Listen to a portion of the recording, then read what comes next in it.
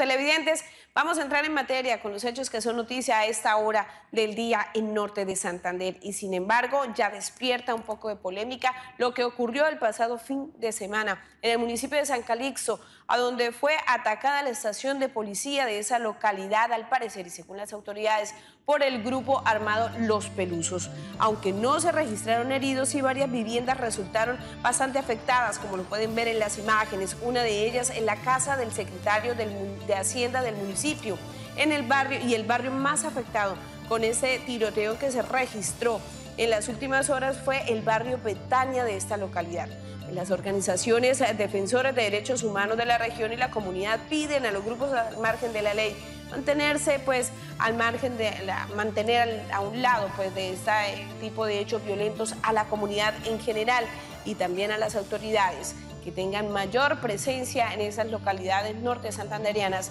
para evitar que nuevamente repitamos estas historias en los municipios norte santanderianos y sobre todo en la zona del Catatumbo.